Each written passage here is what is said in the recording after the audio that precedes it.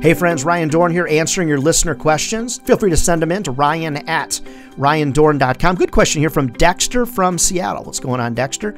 Good question. My boss is negative, my team is negative, now I'm negative. What do I do?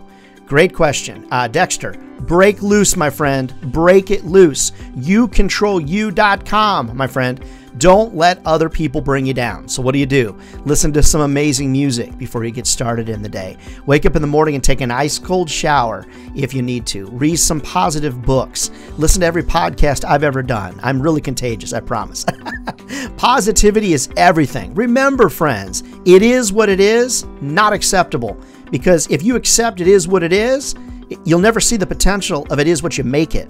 You make the day happen for yourself, Dexter, so don't let that negativity bring you down. Fight it with kindness, fight it with positivity, but guess what? You can't change everybody, Dexter. So you control you and do the very best that you can. Keep your questions coming in. Great question, Dexter from Seattle. Be safe out there uh, on the West Coast. If you uh, need an answer, drop me a line, ryan at ryandohrn.com. Remember, if ad sales was easy, everybody be doing it, and they're not. So we're either crazy or we found a career that will feed our families for a lifetime. All right, drop me those questions. Take care, friends. More online over at ryandohrn.com.